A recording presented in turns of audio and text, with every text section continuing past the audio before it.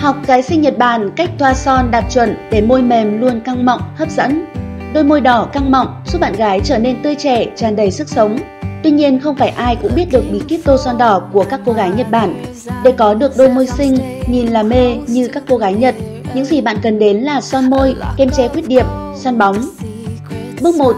Sử dụng kem che khuyết điểm thoa đều ở viền môi. Bước 2. Thoa đều kem che khuyết điểm đến khi kem tiệp với màu da của bạn. Bước 3. Thoa son đỏ lên bờ môi. Ngoài son đỏ, bạn có thể lựa chọn son màu cam hoặc màu hồng.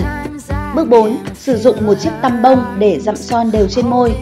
Bước 5. Bạn đánh một chút son bóng vào phần đầu môi để tạo nên vẻ đẹp tự nhiên, hoàn hảo cho đôi môi. Đây là cách thoa son đỏ đẹp tự nhiên, lại đơn giản, mọi bạn gái đều có thể áp dụng. Hãy chú ý dặm lại son bóng sau một thời gian để giữ cho đôi môi của bạn lúc nào cũng căng mọng, tràn đầy sức sống. Cùng xem nhiều thông tin bổ ích hơn nữa tại website endep.vn hoặc subscribe kênh youtube Endep TV.